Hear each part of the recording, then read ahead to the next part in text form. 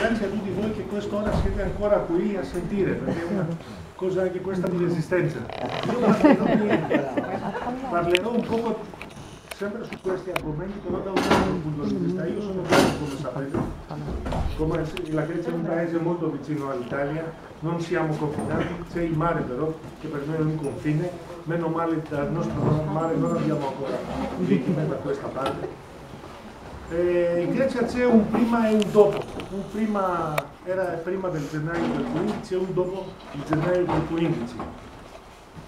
In Grecia vivevamo una situazione molto brutta per gli immigrati, perché c'era un governo, non dico di, di scusatemi però userò anche terminologie molto diverse da quelle che, che avete utilizzato voi qui, eh, un governo quasi salviniano sul, sul come eh, affrontava l'immigrazione il primo ministro quando usciva in televisione parlava dei, dei, degli immigrati, una parola greca si chiama la frometanasta, se, se fossero che erano merce di contrabbando, cioè una cosa che è come le sigarette di contrabbando, tipo così. Questo, questo era il vocabolario che utilizzavano dalla televisione. Tutti i canali televisivi, per di più il primo ministro che dà proprio il segnale di, di trattamento agli immigrati avevamo una polizia al punto di fastidizzazione che molte volte collaborava anche con l'Alba Dorata. Alba Dorata è come Casa Pound, come Forza Nuova, eccetera. Lo dico per i nostri amici qua che magari non, lo sanno, voi lo so che sapete di che si tratta. Che facevano molte aggressioni però, sì, sì, peggio, eh, però facevano molte aggressioni in certe comunità, per esempio non, non, andavano mai contro i cinesi, mai contro i russi, mai contro gli albanesi, no, andavano contro i pakistani, contro gli indiani, diverse comunità. Allora, noi che abbiamo fatto prima del gennaio del, del 15, per favore, io non sono italiano, non mi, mi perdo il filo. Allora, che, che, che, che abbiamo fatto prima del gennaio del 15? li abbiamo perseguiti, abbiamo perseguitato tra virgolette l'alba dorata. Io abito in un quartiere al sud di Atene, io personalmente 4-5 volte mi è capitato di andare agli ospedali dove avevano picchiato delle persone perché dovevamo convincere le persone di fare le denunce. La cosa importante è che quando tu ti fanno qualcosa, noi pensiamo che qui c'è il diritto, tu devi andare a denunciare e chi ti ha picchiato, chi ti ha fatto qualcosa deve pagare. Mettevamo i nostri avvocati, mettevamo gli deputati e gli abbiamo dato la caccia.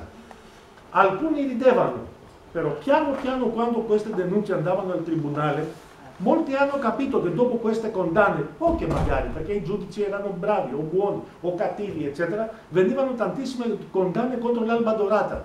E molti giovani che vedevano l'Alba Dorata come una eh, organizzazione politica di greci che voleva fare il bene del paese, queste questa, scusate, questa cosa di espressione, prima i greci, prima gli italiani, prima gli ungheresi, prima i francesi, la stupidaggine dappertutto.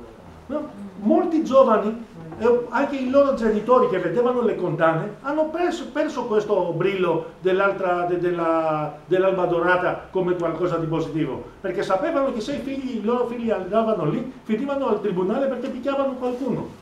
Abbiamo avuto decine di queste condanne non erano molto grandi, eclatanti di dire che ne sono, però erano abbastanza per creare un altro clima contro l'alba dorata.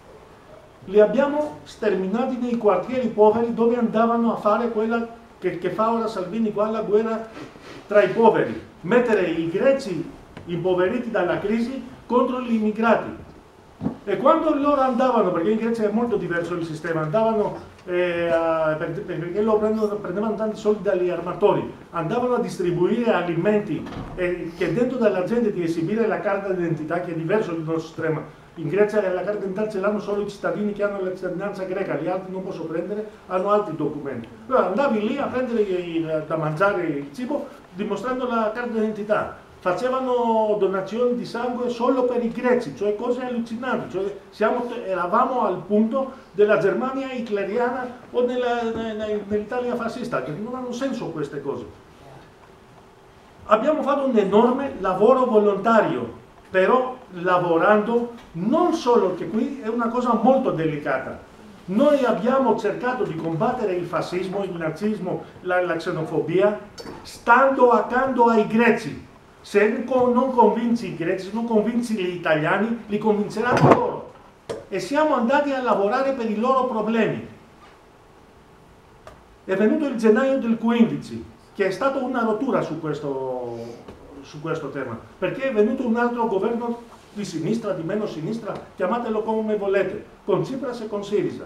Ah. Appena che questi qua sono andati al governo, subito dalla televisione è scomparso tutto questo vocabolario negativo contro gli immigrati, contro di qualsiasi cosa. Non potevi più parlare. Abbiamo fatto una battaglia dentro, io sono giornalista, di applicare dappertutto la, il codice di deontologia sulle espressioni anche dei nostri colleghi di destra di non poter dire cose contro gli immigrati diffamanti, eccetera, eccetera. E piano piano abbiamo cominciato a cambiare il clima perché quando tu hai la te te televisione tutti i giorni, tutte le ore a bombardare le, le, le, la gente di odio, è vero che la gente di, diventa con l'odio e, e, diventa così.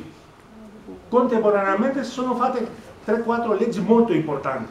La prima cosa, la cittadinanza ai figli degli immigrati, perché era impossibile che i, i, i, i bambini che stavano tutto il giorno con i nostri figli non avere la cittadinanza li abbiamo dato della cittadinanza.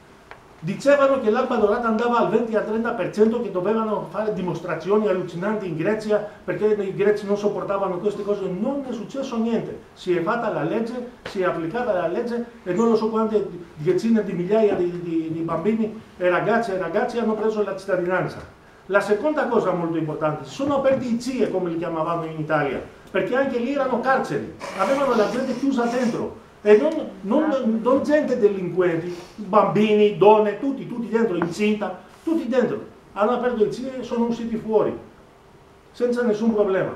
Contemporaneamente, che è la cosa importante, quello che riguardava i greci, per non avere la guerra civile, tra virgolette, la guerra tra i poveri. Subito 2 milioni e mezzo di greci che erano fuori dal sistema sanitario nazionale perché la troica la, la, la crisi economica li avevano buttati fuori perché Schäuble considerava che una volta che saranno fuori dal sistema sanitario andare a lavorare per pochi euro per avere l'assistenza sanitaria. Questa era l'idea di Schäuble di questa magnifica Europa, che per 300 euro dovevi lavorare 10 ore al giorno per avere un medico e, una, e le aspirine, tra virgolette. Abbiamo messo tutti i greci 2 milioni e mezzo dentro, però con un'altra condizione, che il nostro sistema sanitario guarda le persone, non guarda quelli che hanno l'assistenza sanitaria, che così in un ospedale greco, in una struttura pubblica greca, se tu vai e dici sto male, ti, ti, ti mettono dentro e ti curano. Non bisogna che tu gli, dici, gli dai un documento, non c'è bisogno che parli il greco, non c'è bisogno che ti, che, che ti, ti, ti vernizi di bianco per passare per bianco al greco che, che ti curano, curano tutti. Questi, que, e poi contemporaneamente c'era anche un'altra legge che si chiamava contro la crisi umanitaria subito abbiamo dato a tutta la gente che aveva bisogno un, una specie di bancomat per prendere generi di prima necessità, per contrabbilanciare la crisi economica. Alle persone e alle famiglie sono garantite l'acqua e la corrente elettrica per non avere problemi e hanno cominciato a dare anche un eh, aiuto per pagare gli affitti. Così i greci, perché questa è una cosa molto importante, non si sono sentiti come prima, né isolati né abbandonati e nessuno li poteva coltivare l'odio, perché hanno capito che dalla crisi si esce come società, usciamo tutti insieme e si esce tutti insieme con, tu, con tutti questi che vivono nel nostro paese, non solo con quelli che sono che ne so, eh, i, i, figli e i bisnipoti di Socrate di, di chissà che cosa. E questa cosa è stata una battaglia molto dura, però penso che come società l'abbiamo vinta. E andava la cosa relativamente bene. Improvvisamente però viene un'altra cosa, un'altra disgrazia, come le disgrazie che, che, avete raccontato voi. Perché qualcuno ha capito che, che si vendono a basso prezzo dei recinti e hanno cominciato a recintare i confini. Nei dieci mesi prima di chiudere i confini, dalla Grecia sono passate, noi siamo un piccolo paese, 10,5 milioni di abitanti, bambini, vecchi, tutti, tutti, tutti siamo 10, 10, 10 milioni e mezzo. Sono venuti 1 milione e 200 mila persone in 10 mesi prima della chiusura dei confini. È come se dire che in Italia, con le analogie queste, che venivano in 10 mesi 8-9 milioni di persone. Questo è successo in Grecia. E sapete una cosa? Diceva l'Alba Dorata un sacco di, di, di, di menzogne, lo dico in modo anche educato, come dicono qua, la Forza Nuova e la Casa Pound. Non hanno violentato nessuno, non hanno svaligiato nessuna casa, non hanno ucciso nessuno, non è successo niente. Sono passati dal nostro paese 1.200.000 persone, sono venute, io sono anche in una struttura di solidarietà di Pireo, gli abbiamo mandato alle isole 8-9 tonnellate di, di vestiti che, che immagazzinavamo da tempo, non è successo niente. Le persone, come raccontavano eh, i nostri amici qua, stavano lì, dormivano, bevevano e continuavano per andare in Germania, anche di qua e di là. Non succedeva proprio niente. Tutte queste persone educatamente, civilmente, eccetera, facevano eh, il loro percorso senza nessun problema e senza che nessuno gli faceva qualcosa, perché è molto importante. Quando abbiamo avuto questa crisi, si è detto, che si fa con tutte queste persone che vengono? E io personalmente su questo sono molto orgoglioso, vedere il mio primo ministro di uscire in televisione e dire alla gente tutti al mare a salvare le persone dalle barche. E tutti i nostri pescatori delle isole andavano a, pesca, a salvare le persone. Molte persone hanno aperto le loro porte, sono cose già conosciute da vecchi signori che prendevano i bambini per dargli da mangiare. Questo è stato. Perché quanto coltivi la coesione della società, esce dalle, dalle persone il buono. Quando coltivi l'odio è ovvio che troverai l'odio. Noi abbiamo fatto un'altra scelta molto difficile perché eravamo anche il paese più sfigato colpito dalla crisi. Tutte queste cose succedevano contemporaneamente quando i greci hanno perso il lavoro, uno su più, quasi sui tre era senza lavoro e di quelli che lavoravano molti non si pagavano, quando erano fuori dal sistema sanitario, cioè in, una, in un contesto molto negativo. Anche nel contesto, nel contesto negativo non abbiamo dimostrato razzismo e xenofobia, però in un momento chiudono le frontiere. Che si fa quando Erdogan, perché ancora noi abbiamo relazioni con la Turchia pessime, solo negli ultimi mesi non siamo arrivati a un punto di guerra 3-4 volte. Il 25 marzo perfino i loro, loro aerei per poco non hanno battuto l'elicottero di Tsipras, hanno fatto intercettazioni eccetera. Allora, la Turchia che dice Erdogan? Io affonderò le isole di profughi, io farò l'Europa musulmana, queste cose che dice di solito. Però una cosa che le dice, altre cose che le fa. Allora utilizzava i profughi come un'arma contro di chi? E quando gli albanesi, i macedoni jugoslavi e la Bulgaria hanno, hanno riempito i loro confini di recinti, l'hanno messo da soli i recinti. No, perché la Germania sono altri che li hanno messo, perché se non erano questi qua, loro non, non osavano a fare un passo più de, de, de, della loro statura e a mettere i confini, i, i recinti, tutte queste eh, eh, cretinate. Allora noi eravamo bloccati, venivano quasi ogni mese in Grecia 100, 100 qualcosa, mila persone, con i recinti bloccati eravamo proprio alla fine. E lì anche noi siamo stati d'accordo che si faceva un accordo con la Turchia. Era buono, era male, è un altro discorso, non voglio entrare lì, possiamo discutere in eterno. C'è un problema però, che noi quando sono chiuse le frontiere abbiamo avuto sui 60-70 mila persone in Grecia, moltiplicate per 5-6 per capire un po' come sarebbe il, la percentuale per l'Italia. E che abbiamo fatto? All'inizio abbiamo fatto la prima cosa di metterli in campi o in vecchie industrie, eccetera, eccetera, contente per avere il primo, i primi bisogni alle persone queste qua. Però abbiamo capito una cosa quando abbiamo visto l'andazzo di questa Europa, che sicuramente non ci piace, che queste persone dovevano stare in Grecia per tanti anni, probabilmente anche per tutta la loro vita, anche se volevano andare in Germania, in Svezia, eccetera, si bloccavano lì e noi dovevamo trovare un modo che queste persone stavano bene con noi e noi con loro. Allora, abbiamo cominciato subito di trovare appartamenti, perché era impossibile che le persone normali, se, se, se, sei bene con la testa, che metti le persone a vivere per anni, per anni in campi profughi e tutte queste eh, stupidaggini che, che, che succedono. Ora, dal, dal 2016 fino ad allora, quasi due terzi sono già in appartamenti. Ora c'è anche un altro programma che fa il governo insieme con l'ONU per mettere ancora altre 30-40 mila persone in eh, appartamenti. Contemporaneamente abbiamo aperto le nostre scuole. Tutti i bambini degli immigrati, ma tutti i bambini degli immigrati andavano il pomeriggio alle scuole a fare il greco. Questo era il primo anno. Il secondo anno tutti questi bambini sono entrati nelle scuole greche insieme con i, i bambini greci, non separatamente, eccetera, e lì dove vivevano. Se vivevano in un campo andavano nelle scuole vicino al campo e poi tutto questo anno che facevano la lingua si integravano, facevano feste nelle scuole i genitori dei bambini eh, dei immigrati con i, i, genitori dei bambini greci per conoscersi, per integrarsi meglio. Il terzo anno, le, le, il secondo anno, quando i bambini sono entrati dentro la scuola, il pomeriggio andavano a fare il greco tutti quelli che avevano una età tra i 18 e i 20 qualcosa anni, caso mai se volevano imparare bene il greco per andare a fare un istituto professionale o entrare nell'università. Perché visto che noi consideriamo che queste persone rimarranno in Grecia, devono avere uno sbocco professionale. E il sbocco professionale significa che gli dai anche la capacità di fare qualche lavoro buono. Non significa che perché l'immigrato deve andare a raccogliere patate e pomodori a Peloponneso come fanno a Rossano non, non esistono queste cose.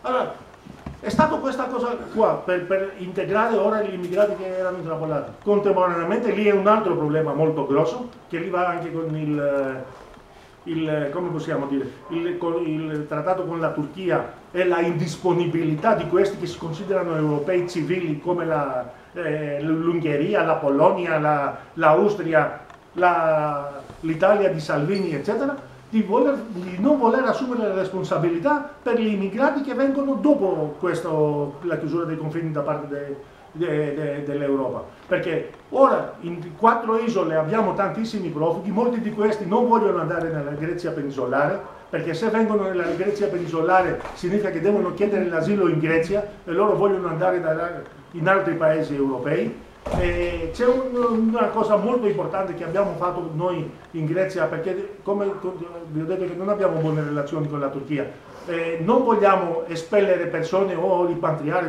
i termini sono diversi, eh, le persone in Turchia. In tutti questi anni, dal 16 fino ad ora, meno di 2000, 1700 persone mi sembra sono rientrate in Turchia e queste con la loro volontà, specialmente pakistani che tornavano in Pakistan, perché noi non consideriamo la Turchia un paese sicuro. Noi abbiamo firmato per necessità un accordo sapendo che la Turchia è quello che è. Eh, sapendo che i problemi che abbiamo con Erdogan, eccetera, eccetera, sono di altro tipo però, non, non riguardano eh, l'immigrazione. Eh, gli episodi di, di, violenza contro gli stranieri, per quello che la Grecia, quel piccolo paesino, con eh, gli immigrati che ha, che non è che noi siamo invasi, non è vero, abbiamo tanti, però non, non è una invasione, possiamo convivere tranquillamente relativamente anche per tutto quello che abbiamo fatto, anche perché abbiamo cercato di democratizzare la polizia, è una cosa molto molto molto difficile. Abbiamo democratizzato molto meglio la guardia costiera e poi vi spiego anche cose che per noi erano allucinanti, non le credevamo nemmeno noi. E dei deputati di destra hanno fatto una indagine, hanno messo una eh, società che fa le, i sondaggi e le ricerche a fare una, un sondaggio tra gli immigrati, perché pensavano che gli immigrati dicevano contro il paese, che i greci sono cattivi, che eh, lo Stato sta male, eccetera, eccetera, per utilizzarlo per i fini contro gli immigrati.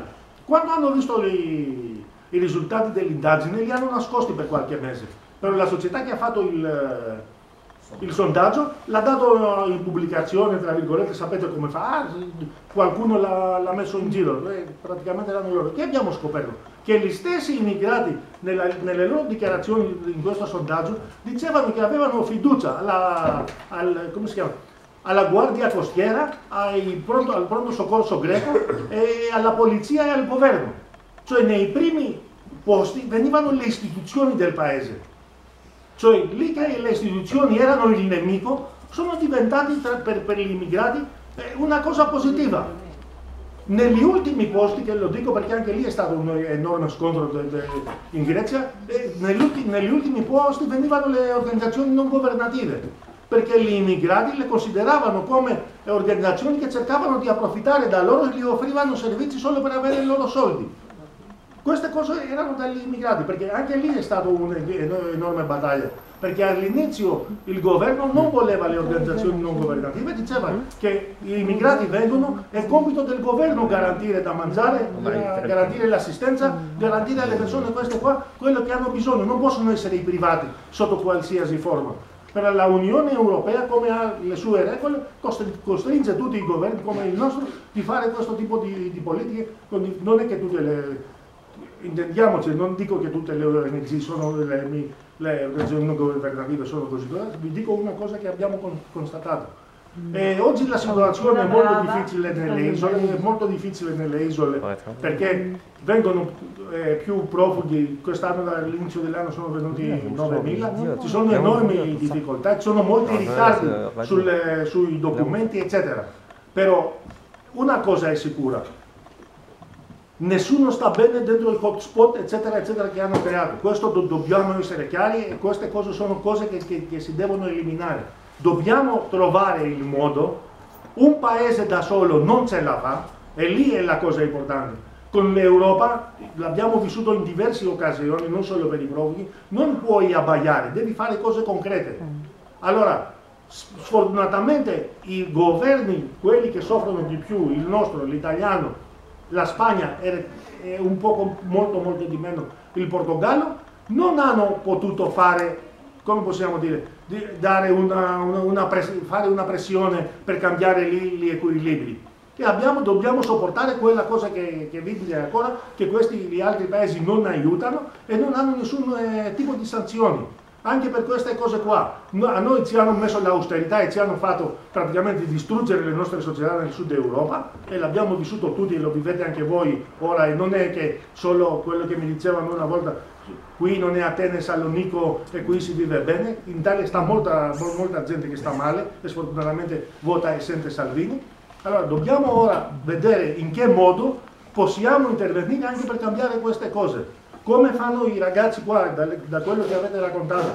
Sicuramente la cosa si va a fare queste battaglie civili perché prima di tutto vengono le persone, non esiste nessun'altra, cioè altra cosa non può esistere nel nostro mondo in Europa o siamo civili o siamo Salvini, non esiste, cioè il rimedio su queste cose dobbiamo averlo molto bene in testa su come fare.